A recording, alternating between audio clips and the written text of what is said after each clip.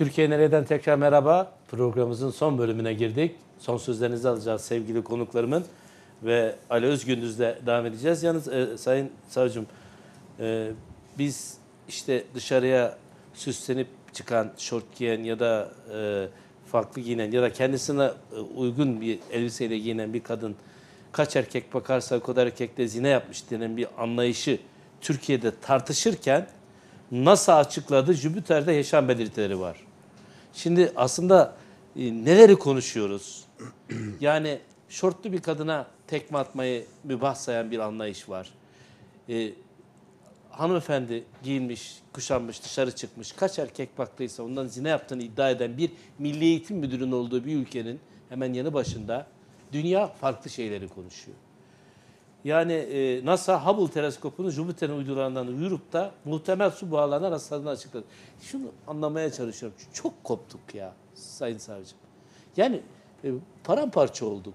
Dünya gündeminden, yaşamdan koptuk, pozitif bilimden koptuk, akıldan koptuk, insanca yaşam arzularından koptuk, insanca yaşama isteğinden, hedeflerinden koptuk. Orta Doğu'da huzurlu, sakin ve mutlu bir ülke olarak yaşama sevincinden koptuk, vazgeçtik, birbirimize düştük, kutuplaştık, ayrıştık, ötekileştik. Nedir ya? Yani bu e, biliyorum anlatacaksınız o aralığı ama bunu da eğer bir şey içinde Şimdi bütün e, bunların bu dediklerinizin e, kaynağı ne? E, bu iktidar, bu zihniyet, AKP. Yani sorunun kaynağı AKP. Bu üretiyor. Bu edepsiz, ahlaksız adamlar milli eğitim müdürü oluyor. Bu, bu, bu, bu sapık yani. Sapkın yani. Böyle bir şeylik olur mu yani? Kendi zihniyetini koyuyor ortaya. Hadis falan da değil. Peygambere yalan isnat ediyor. Dinden imandan da haberi yok bu adam. Diyanet yalanladı. Dinden imandan da haberi yok bu adamların. Ya utanıyorum yani hakikaten utanıyorum. Yani ben Türkiye Cumhuriyeti'nin yurttaşı olarak böyle bir adam bu ülkede milli eğitim müdürüyse ben utanıyorum ya.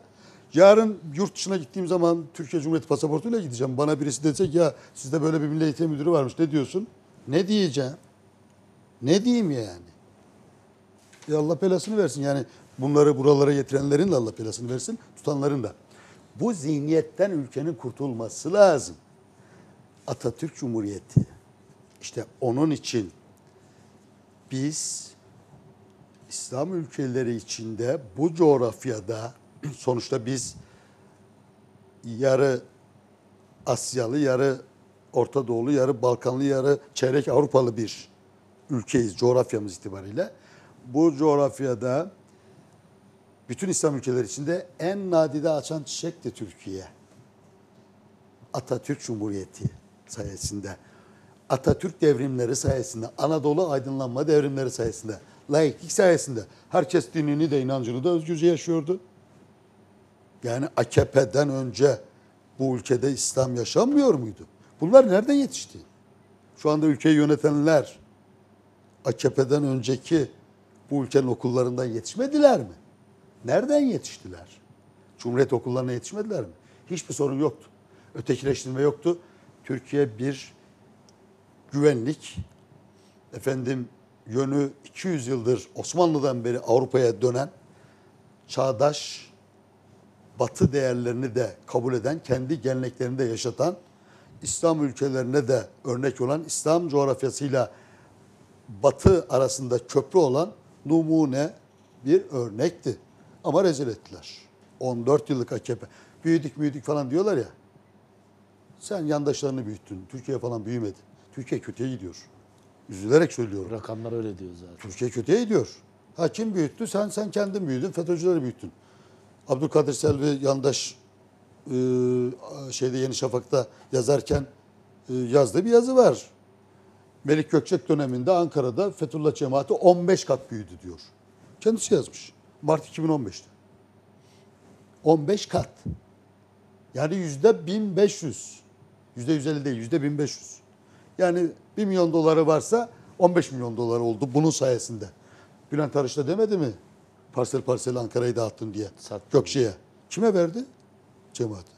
Bugün FETÖ'cü METÖ'cü diyorsun ya sen besledin, sen büyüttün. Kendi yandaşlarını o da senin yandaşın zaten. Sadece Ankara mı? Sadece Ankara. Sadece Ankara'da 15 kat. İstanbul, İstanbul. Bursa.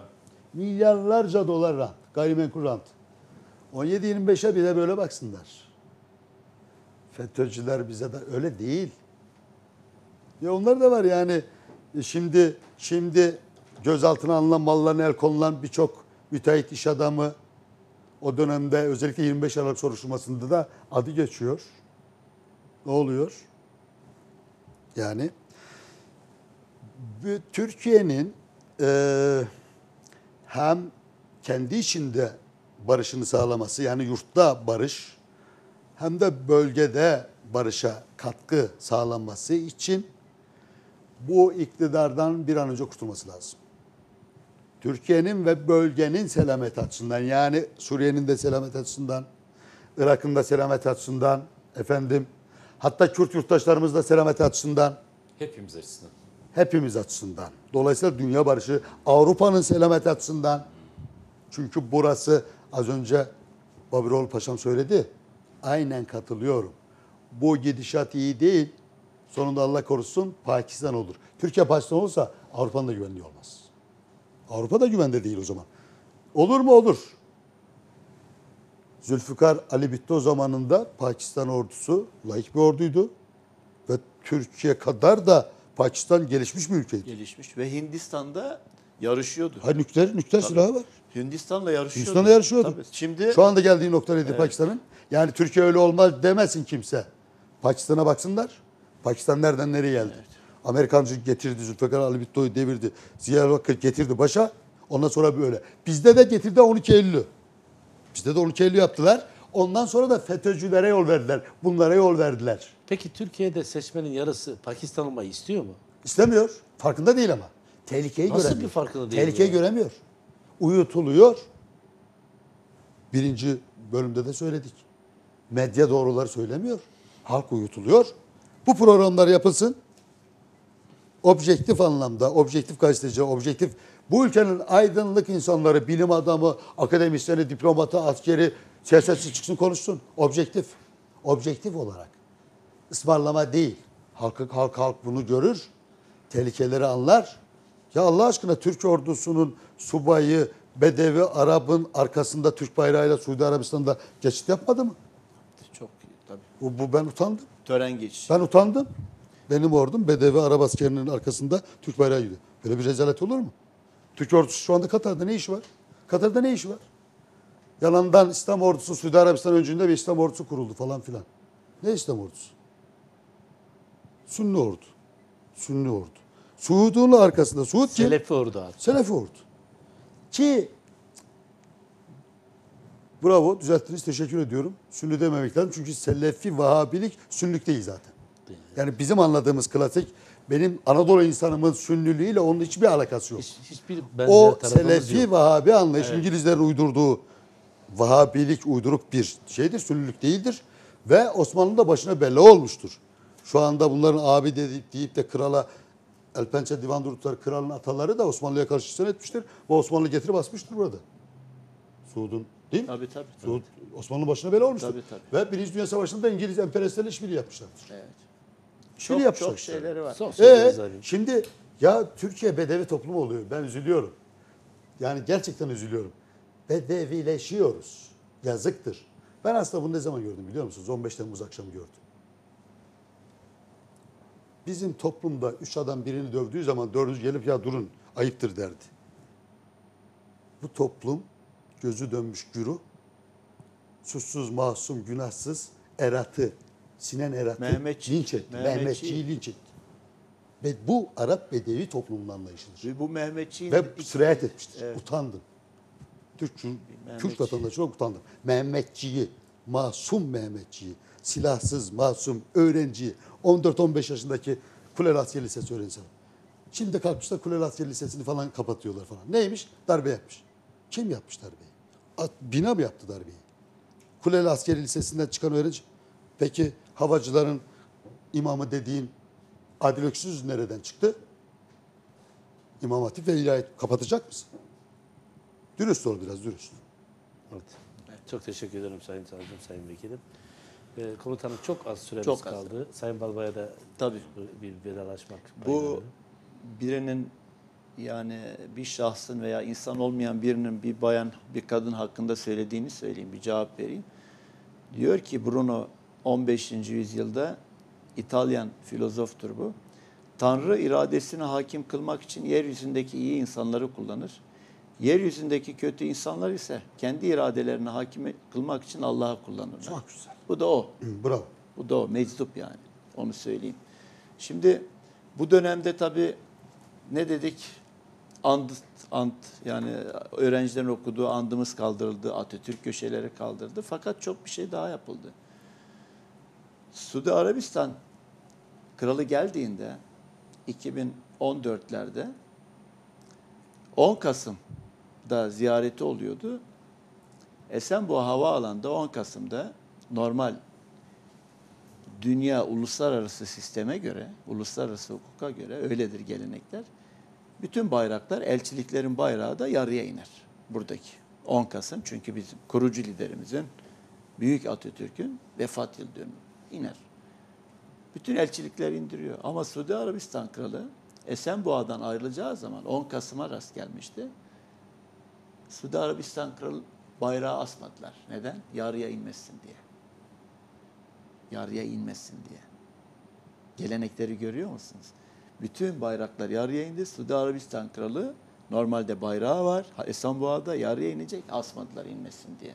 Suudi Arabistan kralına saygıdan dolayı. Peki Suudi Arabistan kralı bu saygıyı hak ediyor mu? Tarihten örnekler verdi. Ben tarihe gitmeyeceğim. Bu döneme geleceğim. Çünkü zamanımız yok.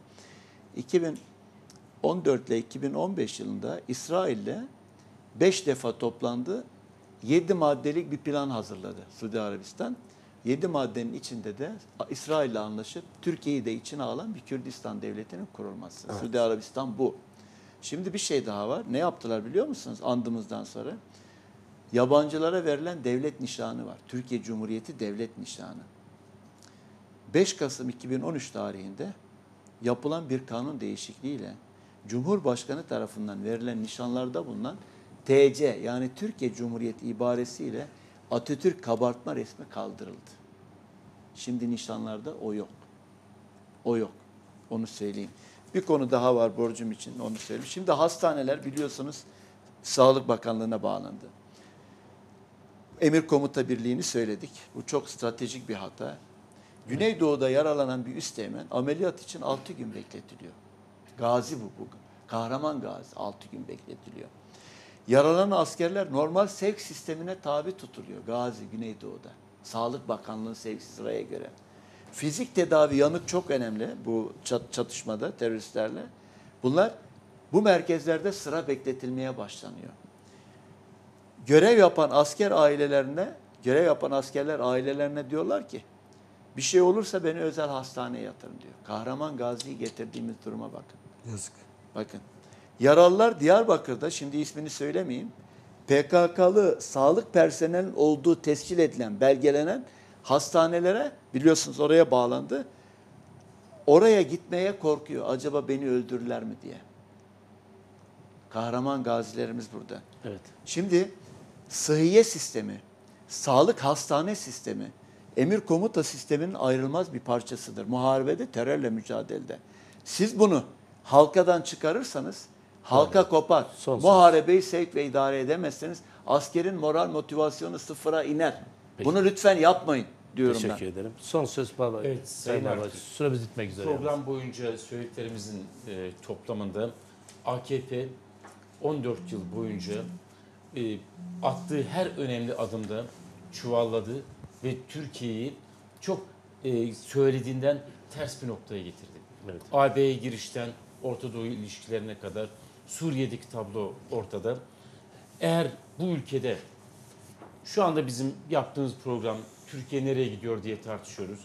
Sosyal medyada 5. sıraya kadar izlenirlikte yükselmişse bu toplumun dinamizmine de bu toplumun tıpkı Atatürk'ün inandığı gibi bu toplumun gücüne de inanmak gerekiyor. Örneğin şu anda hiç konuşamadık. Ben hazırlanmıştım. Kıbrıs'ı acaba nasıl kurtulabiliriz? Hatta nasıl elden çıkarabiliriz diye Sayın Mustafa Akıncı'yı neredeyse taşeron gibi görüp sen her şeyi hallet biz bilmiyormuşuz gibi yapalım gibi bir anlayış içindeler. Örneğin en basitinden şu anda. Ama her şeye rağmen benim yürekten gördüğüm Enseyi karartmayalım. Gerçekten karartmayalım ama. Gerçekten karartmayalım. Ama AKP'nin bu yaptıklarını daha güçlü anlatacağız. Anladım. Örneğin fazla giremedik. Sınır, sınır ötesi operasyonda Su- Suriye Haftaya konuşuruz inşallah. 35 gün Sevgili baba. bir haftada bitireceklerdi. Ama ne olursa olsun peki senin el hareketlerinden en sona geldiğimizi Evet. De, e, benim görüyoruz. değil de süremiz Türkiye bitti. tabii ki Türkiye Teşekkür nereye evet ciddi bir soru ama ne olursa olsun biz de buradayız. Anladım. Türkiye bir yere gitmeyecek diyorum. Teşekkür ediyorum Sayın e, Komutanım teşekkür ederim. Sayın Savcım Çok teşekkürler. Sağ olun. olun. Türkiye nereden bu haftalık bu kadar. E, Twitter'da 5. olduk. Sayın Balbay'ın dediği gibi çok izlendik bu gece. Umarım haftaya da aynı izlenme oranı yakalarız. Hepinize çok teşekkür ederim. İyi akşamlar. Esen kalın.